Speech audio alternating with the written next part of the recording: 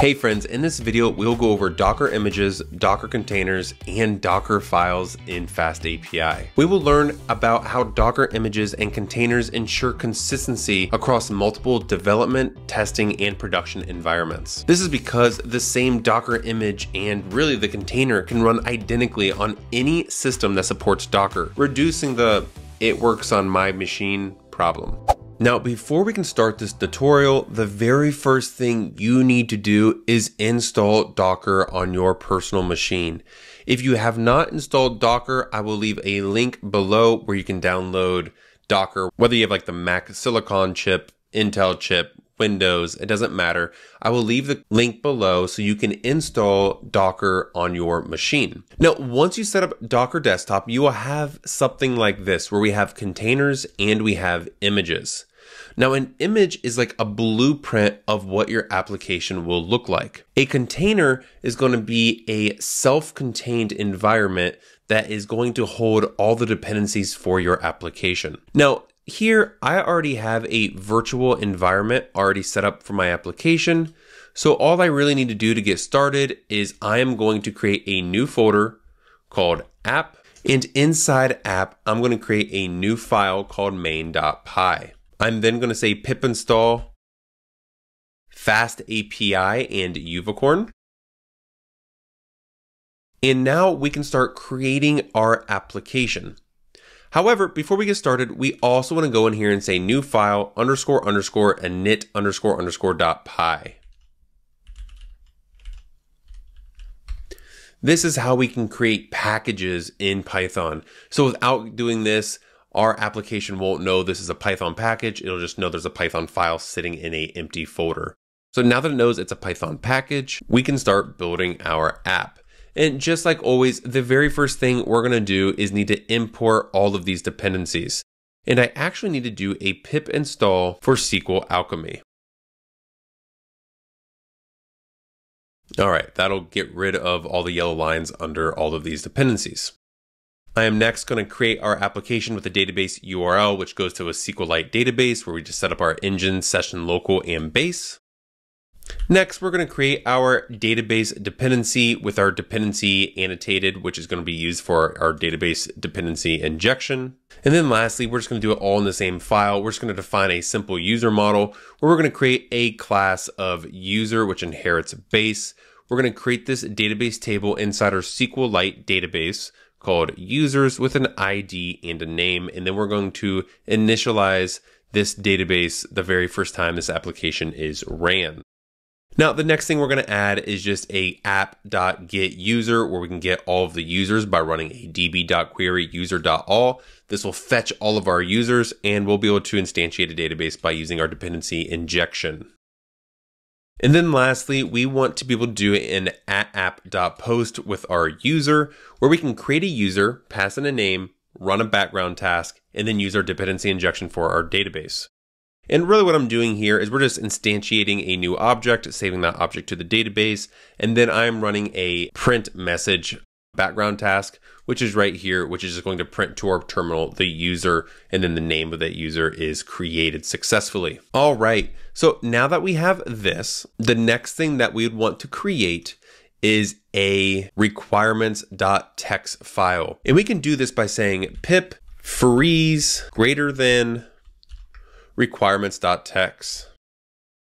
Now, when you do this, we're going to get a requirement.txt file with all of our dependencies right here. And we need this for our Docker because when we have our image and we create our container, it's going to want to know all of these dependencies so it can create the exact environment that we have running on our machine. And now for the last thing that we need to create, we can say new file and we need to create something called a Docker file. Now a Docker file is going to hold all of the instructions for our image to be able to create that Docker container. So the very first thing we need to do is tell Docker what version of Python we want to install on our container. So I'm just going to say from Python 3.9. The next thing we need to add is the working directory inside the container to the app. Now this is how we set where the code is going to live inside the Docker container. We then need to copy over the requirements.txt file from our local directory to the app directory in our Docker container once it's built. So it knows to download all these dependencies. And this dot just means from the same directory. So we can see that requirements is going to be in the same directory. Now, after we get the requirements.txt, we need to do a pip install of our requirements.txt. So pip install dash r requirements.txt. That should look fairly normal. The new changes we're adding is this no cache directory. This is to tell Docker that we don't want to cache the installed packages to save space. We want to reinstall all these dependencies each time we run the new container. And lastly, the dot upgrade. This is going to upgrade all of the packages every single time this is ran to the absolute newest version. So if we look at requirements.txt, we have specified versions inside here. But in our Docker file, we're overriding this to upgrade all of those dependencies. Now you could remove this and it's going to install the exact version that's in your requirements.txt file. But for this tutorial, I'm going to leave this upgrade inside. We then want to copy the entire app directory, which contains our main.py file and any other files in the future. But for us right now, it's just the main.py file from our local directory into this app directory that's inside our container in the future. So we're going to say add to our container everything from our app. And now for the last one, it's our command, which is going to be uvicorn main colon app. But instead of saying like dash dash reload, we're going to define our host to be 0.0.0.0. So this binds the socket to all network interfaces, which makes the server accessible from outside the container. We then want to specify the port, which is to listen on port 80 inside the container. So this needs to be like understood as best as possible. And Docker has its own little, uh, like think of it as its like own little world.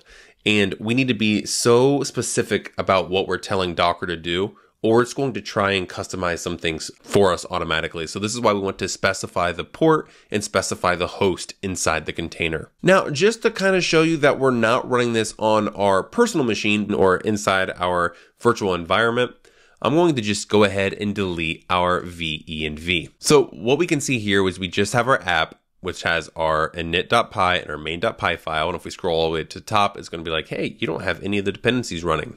We have our Docker file, and then we have our requirements.txt. Inside here, the very first thing we can do is docker build dash t FastAPI docker and then a dot. Now, docker build is a way for us to create an image. We're going to tag this image as FastAPI docker. So if we go ahead and click enter, it's going to download all the dependencies that we need for this image to be able to run successfully. If I open up our Docker GUI, we can see that FastAPI has been added, our FastAPI Docker inside our image. Now we have no containers. Remember, images are like the blueprint while container is the actual environment running. So to create the right container, we can say docker run D for detach. If we don't do the dash D for detach, it's going to just take up this entire terminal and keep printing everything to it, almost like a CPU logging kind of thing. We want to name this container FastAPI Docker container and then we want to say we want to attach it to our 8080. And then FastAPI Docker is the image we're creating this container from. So when you do this, we're going to get this long, unique URL. And if we go back into our Docker now and we go to container, we can see that we have a container of FastAPI running. It last started seven seconds ago. If we click this port, we can see that we are going to have an application running and we don't even need to specify the port because it's inside the Docker. It's doing its own Docker port connections. If we go into slash docs, we can see our application is right here. If we create a user and we call this Eric and we say execute, we'll get Eric user created successfully. And then we can say get users where we have our name and Eric. Now, again, this is living inside our Docker. So if we go back in here and we say stop, and then we go back into our application and we refresh, it's going to stop. And that's because we have our image and our container. If you want to rerun the application, you do not need to come in here and do this entire Docker run detach functionality again you can just go right inside here, go into your containers and click the start button.